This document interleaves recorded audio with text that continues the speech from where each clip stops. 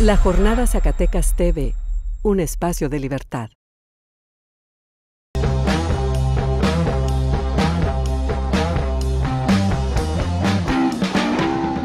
Hola, ¿qué tal? Bienvenidos a este primer programa de acentos del 2016.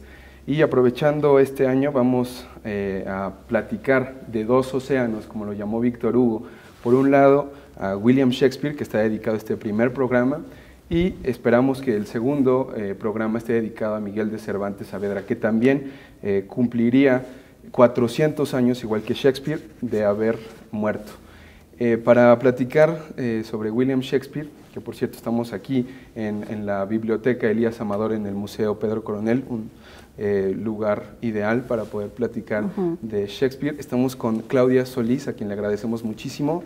Es dramaturga, actriz, también directora eh, y parte del grupo Momo de teatro. Muchísimas gracias, Claudia, por estar aquí con nosotros. No, pues al contrario, muchas gracias por invitarme.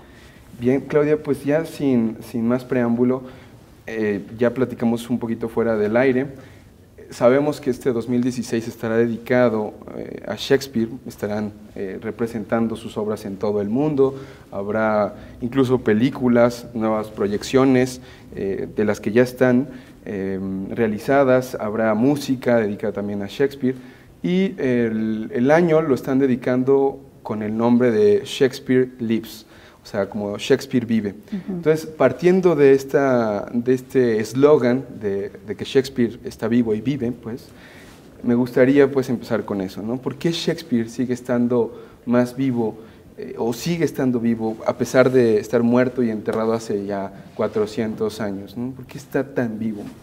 Pues justo yo creo que esta cuestión de por qué Shakespeare se sigue representando tiene que ver con que sus personajes, tanto trágicos como cómicos, pero sobre todo yo creo que los, los personajes trágicos, tienen que ver con esta, digamos, posibilidad de representar la, la parte humana, ¿no? la parte de la tragedia, y que finalmente estos personajes en Shakespeare no son unos héroes como tal, no son unos héroes como, digamos, nos los han enseñado en la actualidad, son héroes que también eh, sufren y que tienen mm, toda una gama de vivencias que los hacen ser ah, pues tan comunes y corrientes como cualquiera de nosotros. ¿no?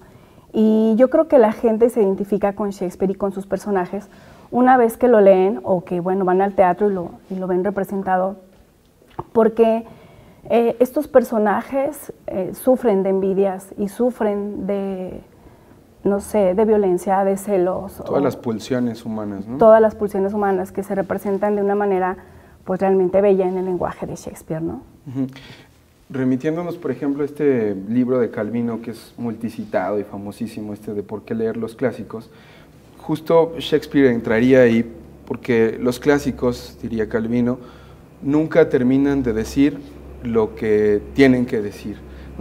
Shakespeare no se agota, Shakespeare sigue diciéndonos algo de nosotros y, de lo que somos, a lo que hemos llegado también. Eso es interesante, otra definición de, los clásicos, que, nos dicen quiénes somos y a dónde hemos llegado.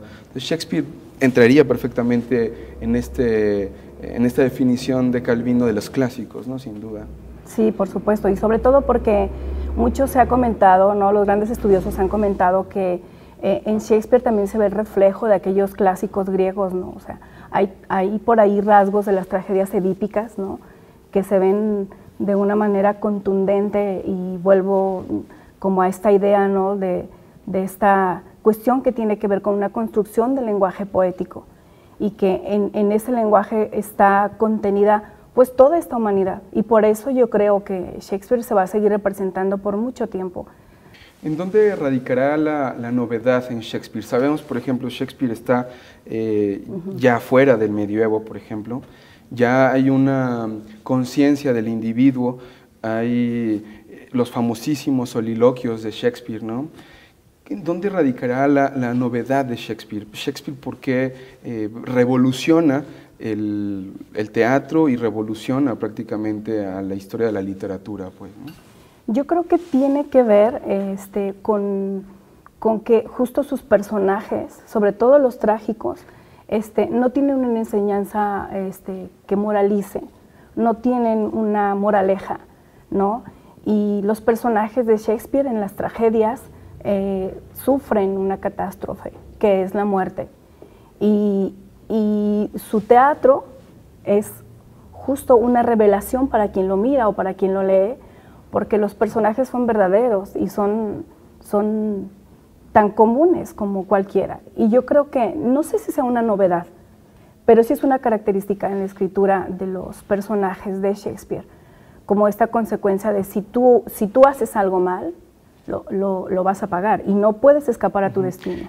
Retomando nuevamente esto que, comentabas y que ya platicábamos fuera del aire de, de cómo la obra de Shakespeare puede conjugar los, las pulsiones, los sentimientos humanos.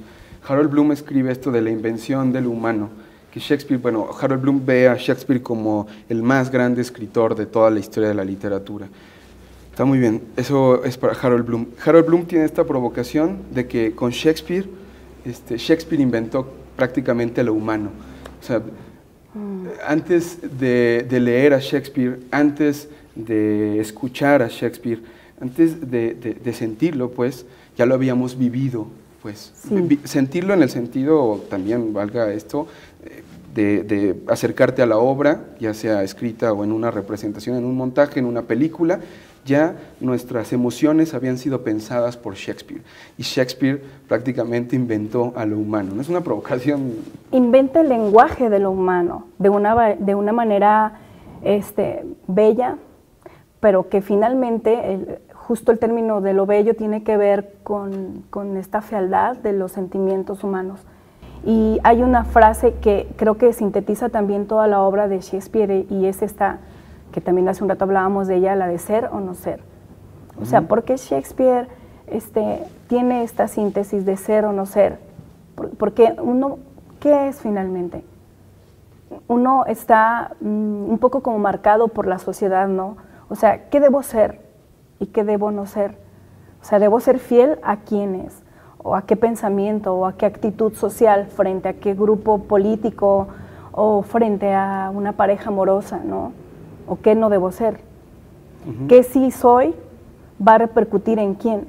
¿no? Y yo creo que todas estas complejidades del pensamiento humano están súper de manifiesto en, la obra de Shakespeare y, va a ser vigente siempre, yo creo. Sí, es que esa línea, esa línea de Hamlet es, es justo eh, la conciencia del individuo, la conciencia de la existencia, de, de, la duda, de hacer o no hacer, y, de eso se trata, diría Tomás Segovia en su traducción, más que that is the question, más que esa es la cuestión, de eso se trata la vida.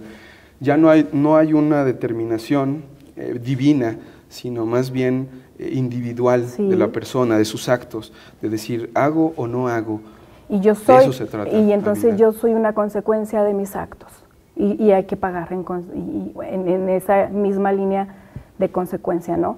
Y por otro lado, creo que también este asunto de nadie escapa a su destino este, está, está, marcada en, está marcado en la obra de Shakespeare, ¿no? O sea, de verdad, los personajes son, son tan complejos que, pues, que puedes encontrarte un personaje que duda entre decir algo que va a perjudicar a alguien que está cerca o no decirlo. Y recordemos también que la palabra compromete.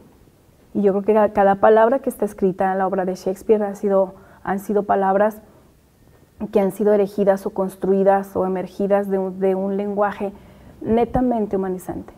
Porque de verdad, o sea, Shakespeare devela el horror de estar vivo, como decía César Vallejo, ¿verdad?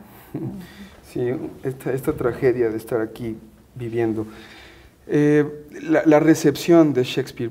Shakespeare aparentemente es muy fácil, todo el mundo entiende eh, estas pulsiones, estos, estas emociones de eh, las intrigas, la avaricia, los celos, el temor, la muerte, están ahí presentes, pues lo decíamos, ¿quién no ha sentido alguna vez celos? ¿Quién no ha sentido alguna vez coraje por un familiar, un conflicto familiar que, te pone en jaque? Sin embargo, cuando a Shakespeare lo lo piensas, lo analizas a profundidad cada personaje, y, vaya, ustedes lo han hecho, lo han montado, tiene otro grado de complejidad, pues, o sea, representar a Shakespeare, qué tan complejo es. En, tres, cuatro líneas te puede ya describir a un personaje y de la forma más eh, profunda, acabada posible, ¿no? Es entrañable, pues termina siendo entrañable el personaje. Sí, yo creo que representar a, estas alturas Shakespeare el clásico, este, además, bueno, de que hay que ver que la traducción al, español y hay que ver qué, qué traducción hay, qué traducción, de qué traducción, es muy complejo porque representar una obra de teatro es ya de por sí complejo, porque hay que creerte lo que estás viviendo en la escena, Mira, lo más fácil y lo más difícil este, para un actor es creerse lo que está viviendo. Una vez y otra vez hasta que haga las 100 representaciones o las que tenga que hacer. Entonces yo creo que Shakespeare es un teatro inteligente, sobra decirlo. Yo no soy quien para decirlo, pero es un teatro con mucha fuerza y con, y con mucha belleza. Entonces, quienes vayan a representar a Shakespeare deben tener estas características y, y hacer los análisis de los personajes con todo el debido respeto de la interpretación, no solamente de la interpretación del texto, de las palabras, del personaje, de la complejidad de la psicología del personaje, sino además de, de la interpretación que vas a hacer en la escena. Y que, también tiene la potencia del clásico, de que estos, estas emociones las hemos sentido sin antes haber leído a Shakespeare o de haberlo visto.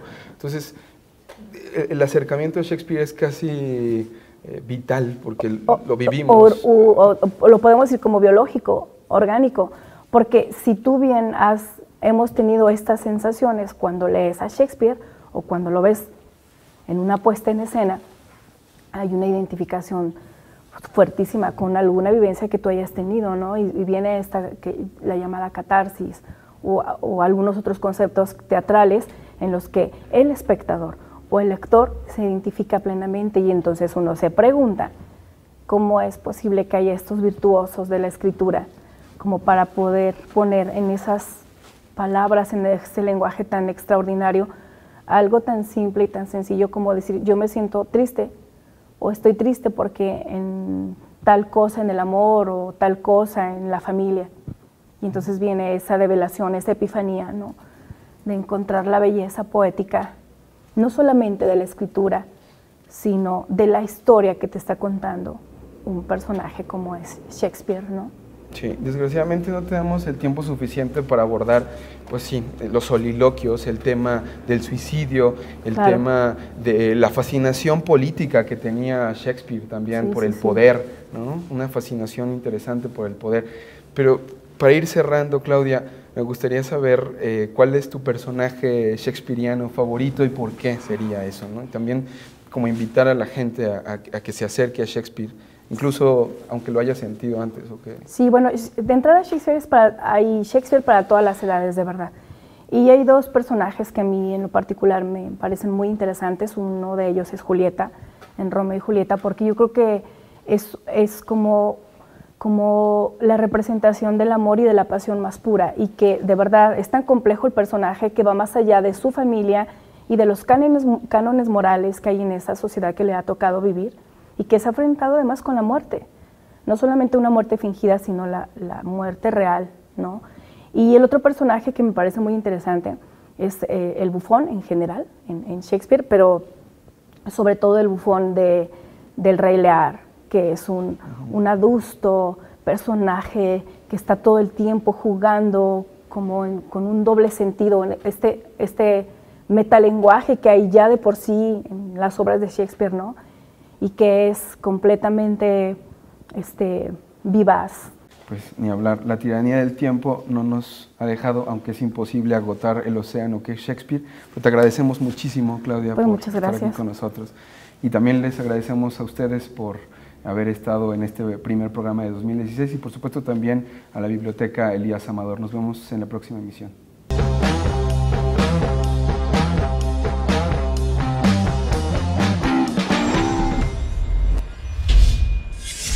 La Jornada Zacatecas TV, un espacio de libertad.